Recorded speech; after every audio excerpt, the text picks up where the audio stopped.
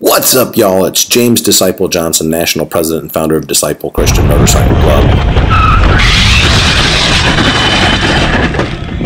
Yep, that footage is ugly. That's our prospect Anders from Thailand, charter Disciple Christian Motorcycle Club. We were shooting some video. He came very close to hitting me and instead ended up dropping his bike. These two girls almost got taken out. It's crazy. They had to jump out of the way. I was standing on my bike. I sat down, I hit the brake, and he was so close to me with the second camera that he nearly hit me and ended up laying it down in this curve. Because uh, it was kind of an unexpected curve there. And uh, didn't do too much damage to the bike, but you can see he was so close to me, it was crazy. So, to tell you the story of what happened, here we are leaving uh, our hotel in Koh Chang, Thailand. And you can see me pointing to my helmet. I'm asking him if his camera is on because he has a camera on his handlebars. He said it was, so we took off. And uh, Koh Chang Island is Elephant Island right off of the north coast of uh, Thailand. And uh, we had a great night at the beach, and then we had to get home. So you can see us cutting through some traffic. You know, Thailand has different rules than, say, the United States. And so um, you know, this very slow traffic, we had to get around it. And uh, it's, it's quite epic, quite frankly, riding in Thailand because the rules are so very different. So you can see me cutting uh, between oncoming traffic and the traffic in my lane. And we were taking the curves kind of hard. You know, we were pushing the bikes because it's fun. And, uh, you know, we enjoy that kind of thing. You can really romp on it there. And again, cutting through traffic, you know, Traffic's not going super fast, but this is kind of how it works in Thailand. And right here, you can see Anders almost go off the road there. If there had been oncoming traffic, he crossed that line and he would have actually just gone head on into someone. Uh, so I think he was pushing his bike maybe a little too hard. There was an incident like that yesterday, uh, the day before this happened as well. And uh, but you know, each man has to ride his bike, you know, how he thinks is safe. And yeah, so we're cutting through. You can see me rocking out. I've got my music on. And here's the first time where I stand up. So this is why he's behind me. He's got a camera on there, and we're trying to capture some footage of me riding in Thailand, standing on the bike. So you can see me wiggle the bike around, and then just I, I lost, uh, I hit a bump, something. I lost confidence, so I went ahead and put my hand down. And uh, we weren't really getting the shot we wanted because the road was too rough here so we'll try again in a second as the road gets a little straighter.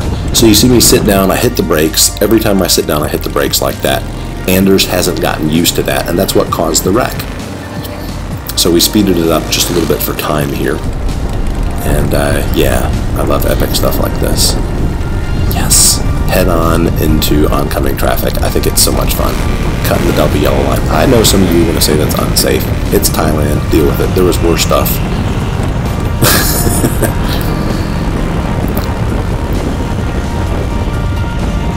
so you can see us just kind of riding the, the yellow line. This is kind of what people in Thailand do. I'm not leading the pack.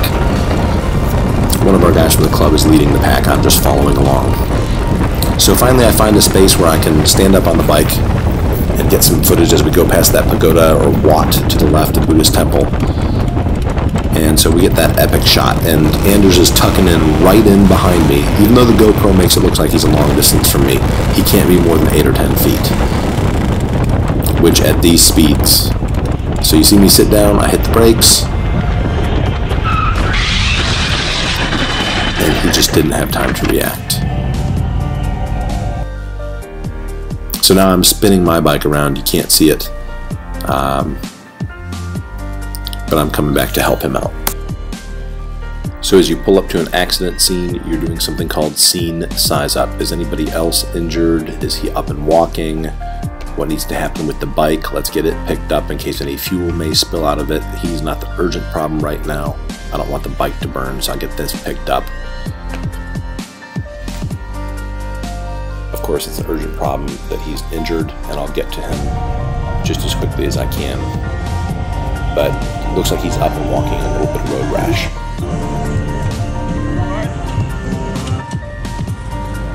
And he's a little shaken, but he's doing well. He's he's assessing himself. these ladies here. You can just see that they're in shock, looking at his bloody arm. I had forgotten there was a camera on the bike, so I turned it toward me. I got too close. So I could capture the rest of the event. Yeah, You probably got it too. yeah, I hope so. Oh, There it is. It's ugly. That was the worst of the lacerations he had. and If he'd uh, had gloves on, it would have been better.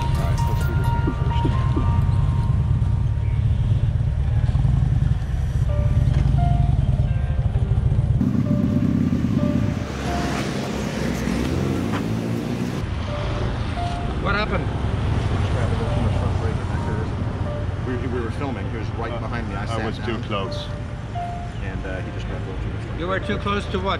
Me. He was right behind me. Oh, the bikes hit each other? No, No. I didn't hit him, but uh, I didn't want to hit him, so Okay. I, I brought talk and and. Uh, And you fell. So I've been trained as a medic, and I always carry a jump kit with me that includes gloves and medical supplies for exactly this kind of occasion. Controlling bleeding, bandaging people up, getting them off the side of the road. Here we're in Koh Chang, Thailand. I don't know if there's any emergency services available. I don't know if there's anyone who can help us, so we need to be ready at all times. We're literally on a tropical island right now. We have to take a ferry back to the mainland. Here I'm doing a head to toe unhinge. I'm just checking to see if he's got any damage anywhere else on his body. I'm actually pulling his pant legs up to check if there's road rash. Also checking around his waist. Sometimes the shirt will get pulled up and I see blood on his shirt, so I wanted to check and make sure there wasn't any additional blood anywhere else that needed to be cleaned up. I've already cleaned all the minor wounds, but now I'm working on the major wounds. Of the regular size large band-aids out. And some of the cream. There should be some cream in there as well. At this point, my hands are covered in blood, so I'm asking Slim to pull the gear out of the medical bag for me. That's why I'm prepared at all times, brother. We good? yeah, thank God. You good? Thank God. Yeah. You good? Yeah, yeah. Okay. Alright. I should. Thank God we have a medic in the larger room. I should wear my gloves. Alright. I'm covered in blood though. I want you to get the marker. Regular style. All right, all right. So at this point, I'm bandaging up several lacerations he has on his right and left hand. I've already cleaned the blood off, but now I'm just bandaging it up. And you can see some medics have arrived. They have a little moped, and uh, two medics arrived on one moped. I don't know what they would have done if he needed to be transferred to the hospital, but they did show up in time to help me clean that large wound.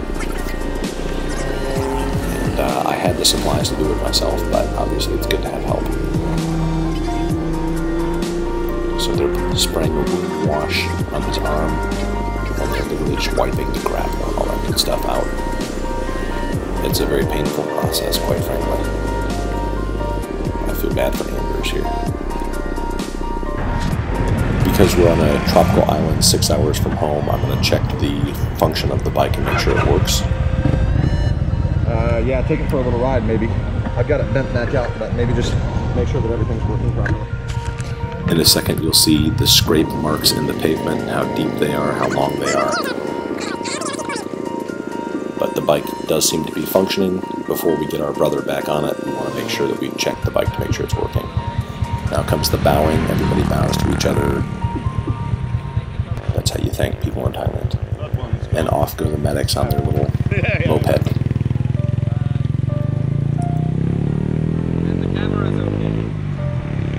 Camera's okay. Yeah, we probably got. I know we got some epic footage of it, if nothing else. Oh yeah. Epic footage. We have footage of wa- how it looks on. going And down. hey, hey, if you don't quit, you'll be one of the few guys to make it through an accident with Disciple that doesn't quit. It's true. Most guys that get into a wreck riding with us quit. This is my my This sec- his second second. wreck with us. I got hit from behind once. I got yeah, Yeah. this one and now this one. So I got two road tattoos. We were on a ride and he got hit from behind and went down. Doing okay?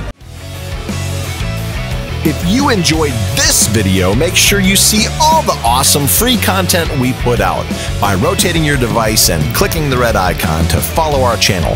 God bless you. Thanks for watching.